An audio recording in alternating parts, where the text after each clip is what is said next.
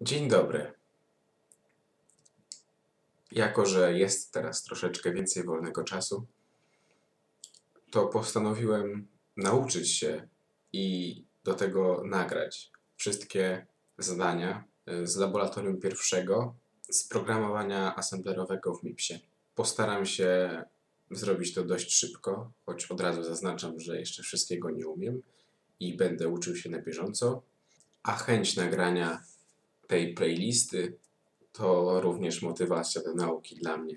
Mówię też od razu, że nie jestem do końca merytorycznie kompetentny we wszystkich zagadnieniach związanych z niskopoziomowym programowaniem, zarządzaniem pamięcią itd. Dlatego jeżeli pojawi się gdzieś merytoryczny błąd, to proszę o wytknięcie mi go. A teraz już przejdźmy do konkretów. Postanowiłem, że każde z tych zadań zrealizuję najpierw w języku C, a potem w assemblerze, mm, gdyż y, no, C pozwoli troszeczkę lepiej zrozumieć ten algorytm. Jest troszeczkę, wiadomo, składnia jest dużo przyjemniejsza, a jest też niskopoziomowy, alokacja pamięci i inne rzeczy przebiegają bardzo podobnie jak w assemblerze. Dlatego właśnie C. No i co? Zaczynamy od zadania pierwszego. Mm, W tam skrypcie do laboratorium, y, jak to woli, no nie było do końca sprecyzowane. Tam było powiedziane tylko, że zamieniamy cyfry na ich dopełnienia do 9, no ale można to rozszerzyć do tego, że w dowolnym łańcuchu, w dowolnym stringu mamy zamienić e, właśnie cyfry na ich dopełnienia. No, od czego zaczniemy? No, najpierw e, trzeba sobie utworzyć jakiś bufor, jakieś miejsce w pamięci, w którym będzie ten string. W assemblerze będzie to bufor, do którego będziemy wprowadzać dane z konsoli. Tutaj na potrzeby testowania zahardkodujemy po prostu tego stringa. E, String to jest tablica czarów. To było już, ale tak przypominam. Każdy czar koduje się jednobajtowym kodem liczbowym według tablicy ASCII.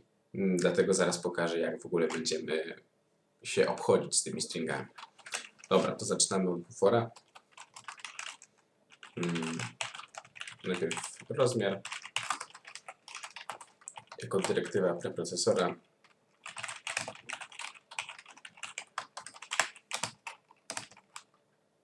Mm, I zainicjalizujemy go jakimś stringiem, jakiś tam abcd 1, 2, 3, df 0, 9, 8, 7, 6, 5, 4. 0, 0. Na przykład tak. E, teraz może kilka słów jeszcze o tym stringu. Każdy byte to w każdym bajcie zawiera się kod liczbowy tak, danego znaku. E, nasz bufor ma 256 bajtów miejsca, na 256 znaków jest przeznaczony.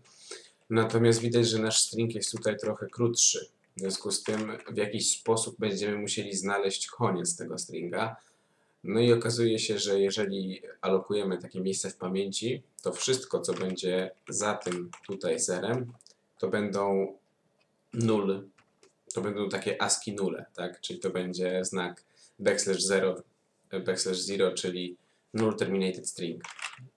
Zaraz pokażę, jak będziemy szukać końca takiego stringa bo nie ma potrzeby iterowania po każdym z tych znaków od początku do końca, tylko tą iterację można zakończyć wtedy, gdy napotkamy ten zerowy, nulowy znak. No to teraz standardowo jakieś tam int main. E, potrzebujemy pętli.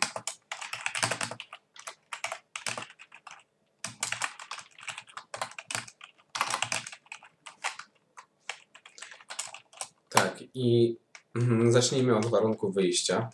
E, a może nie. Zacznijmy od tego, że tak, nasz e, obecny znak, tak, przypiszemy go sobie do oddzielnej zmiennej. I to będzie po prostu, gdyż traktujemy stringa właśnie jako tablicę czarów i po kolei iterujemy. Wiem, że dla niektórych może być to oczywiste, ale dla innych niekoniecznie. E, No i teraz ten warunek wyjścia, czyli if current. No tutaj możemy zrobić tak, żeby było poprawnie, czyli jest tym znakiem null terminated string. No to robimy break. Na końcu mm, standardowe return zero, jako że to tak, tak się robi maila powiedzmy. I oprócz tego będziemy jeszcze wypisywać, to jest funkcja, która wypisuje nam C.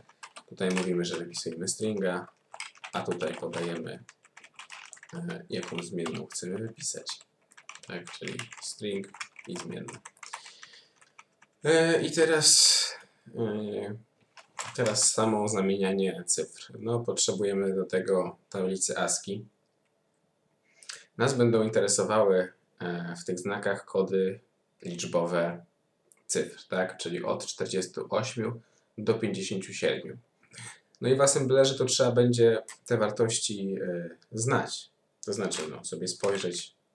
Natomiast e, tutaj w C jest taka możliwość, że jeżeli wpiszemy cyfry, dowolne znaki ASCII w pojedynczych cudzysłowiach, czyli w apostrofach, no to kompilator nam to zamieni automatycznie na kod liczbowy, a zapis jest dużo bardziej czytelny. No czyli tak, chcemy, żeby nasz, sprawdzamy, czy nasz obecny char, current, jest cyfrą. No czyli musimy zrobić takiego tutaj o, dwa.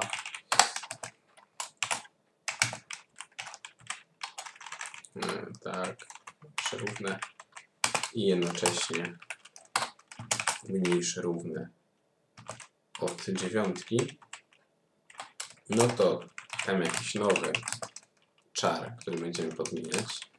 To jest, tutaj będziemy kastować to na czara, nie jest to e, konieczne, ale dzięki temu kompilator nie wypluwa błędów, tak? Kastowanie, no czyli e, eks, explicite zmiana typu.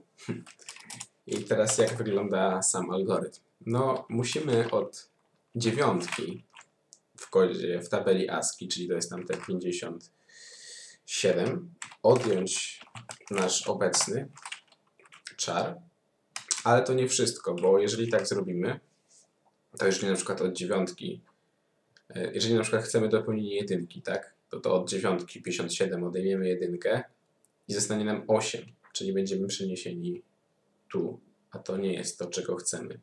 Dlatego musimy jeszcze nasze wyniki zoffsetować, czyli przenieść je na ten przedział, gdzie są cyfry. Czyli jednym słowem dodać 48, czyli dodać kod odpowiadający znakowi 0. Dlatego piszemy plus 0. Tak, żeby było czytelnie. Wiem oczywiście, że można to by było nastąpić na jedną liczbę, ale spokojnie kompilator sobie z tym poradzi. No i ostatnie co robimy, no to nadpisujemy. I to tyle. Powinno wszystko działać. Nie current, tylko buffer. Tak, teraz działa. I jak widzimy, jak sobie porównamy, to wszystkie cyfry z naszego wejściowego stringa w stringu wyjściowym są pozamieniane na ich dopełnienie do 9.